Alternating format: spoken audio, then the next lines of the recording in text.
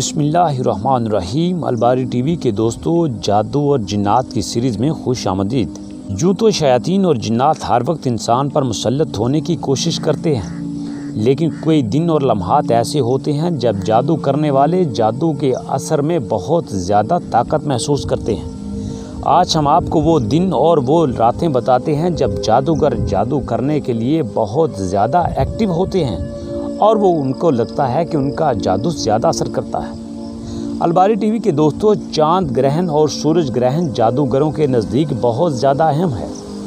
बाज़ किताबों में ये मिलता है कि जादूगर चाँद ग्रहण या सूरज ग्रहण के वक्त जानवर जिबा करके फेंक देते हैं। इस कुर्बानी से वो सूरज देवता और चाँद देवता को खुश करने की कोशिश करते हैं। ये सरासर शिरक है और ये कुफर की अलामत है।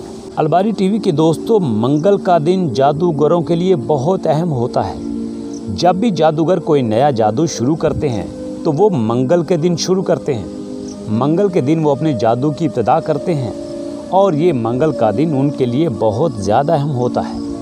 इसके अलावा हर महीने की जो पहली इतवार है, वो जादू के लिए बहुत अहम होती है। इस दिन वो अपना जब भी बहुत बड़ा जादू करते हैं तो वो इतवार के दिन करते हैं।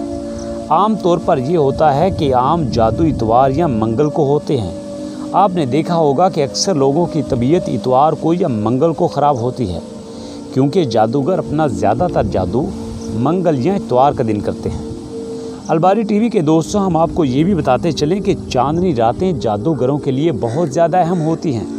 ख़ास तौर पर जादूगर पहली तारीख से लेकर चाँद की पंद्रह तारीख तक मोहब्बत का जादू करते हैं। और पंद्रह तारीख से लेकर तीस तारीख तक नफ़रत का जादू करते हैं। यानी कि जब मियाँ बीवी या रिश्तेदारों में लड़ाई करवानी हो तो वो जादू पंद्रह तारीख से लेकर तीस तारीख तक होता है। और जब किसी आशिक या माशूक को काले इलम के लिए मिलाना हो तो ये पहली तारीख से लेकर पंद्रह तारीख तक होता है।